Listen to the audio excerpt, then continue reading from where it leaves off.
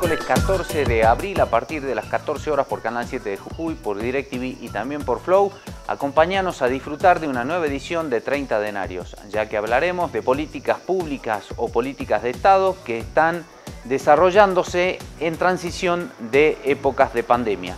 Y por último, conoceremos la innovación y el desarrollo tecnológico de un medio periodístico tradicional de la provincia de Jujuy.